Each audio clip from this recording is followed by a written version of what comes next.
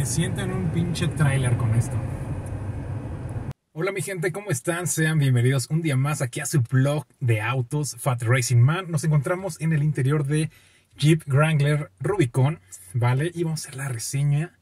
Miren esta chulada. Vamos a ver de qué se trata.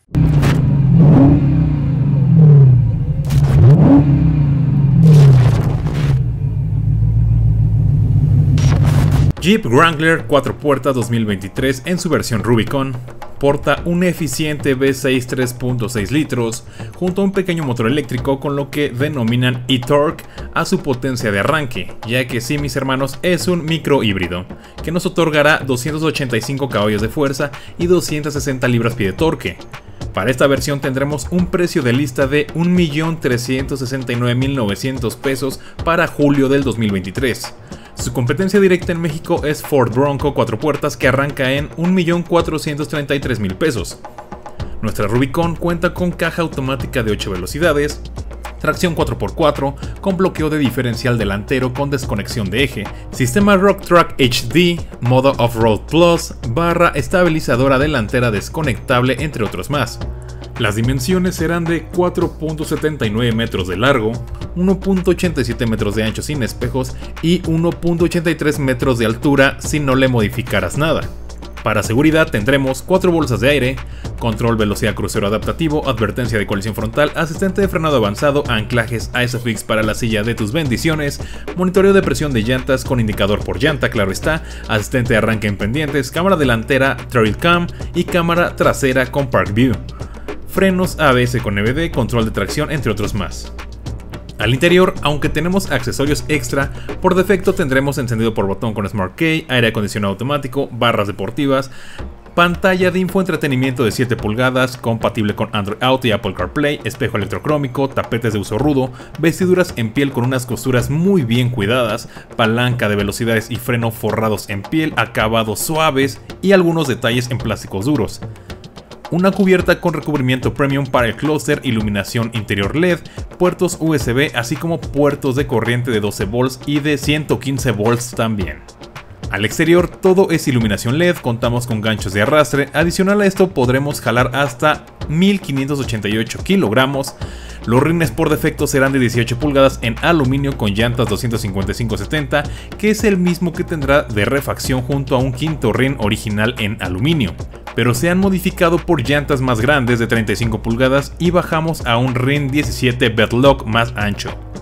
La suspensión Mopar se modificó por una Fox Racing. La defensa original plástica se cambió por una metálica y se incorporó un winch marca Warm de 10.000 libras.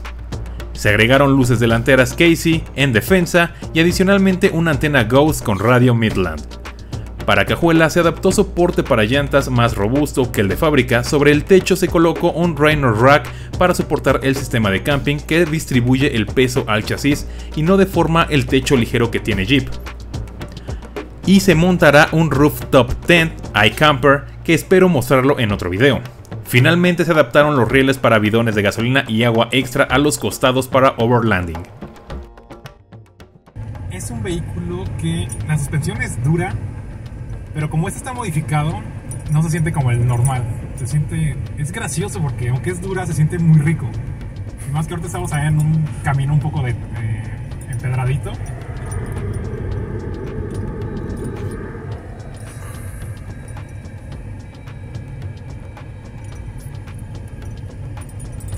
Y pues, en general, ¿qué puedo decir? El auto me encanta. Es el sueño de muchos, la verdad sea que lo uses para ciudad, sea que lo uses para off-road, para overlanding, es el sueño de muchos. Creo que sí vale, vale cada centavo. Obviamente hay que darle bien sus mantenimientos a tiempo, pero son autos que duran mucho tiempo, autos bien hechos, productos realmente geniales. El tacto en todos los acabados, porque aunque está hecho para muchos de los elementos son eh, acabados rígidos. Tenemos, al menos en esta versión, plásticos acolchados en gran parte del habitáculo. El volante forrado en piel se siente muy, muy, muy genial, la verdad. Consumos altos y aún así el lado positivo es que es mil hybrid. Así que si vas a gastar lana, no te preocupes por el tema de la tenencia. Porque si no fuera Mil Hybrids, es un producto por el que pagarías un poco más de 28 mil pesos anuales de tenencia por, por varios años.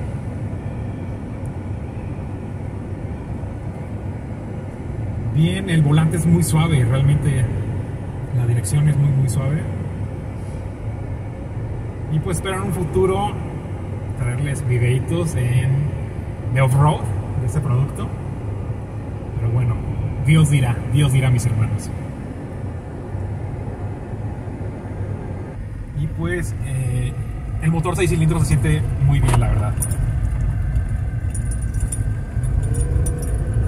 Responde de maravilla, responde de maravilla realmente. Y pues nada, mis hermanos, ¿a ustedes les ha gustado este producto? Cuéntenme en los comentarios, ¿ustedes tienen un Jeep? Si sí, ¿de qué año? O si lo han tenido, dejen en los comentarios, la verdad. Porque creo que es una experiencia que no te debes perder si tienes el presupuesto, ¿no? Obviamente, eh, si vemos ahorita los precios, la versión de entrada, el dos puertos, por ejemplo, ahorita en México, está un poco arriba del millón de pesos. Y si te quieres ir por la versión, las, las cuatro puertas, seas de la versión de entrada, pues ya hablamos de cifras mayores, ¿no? Pero es un auto espectacular realmente.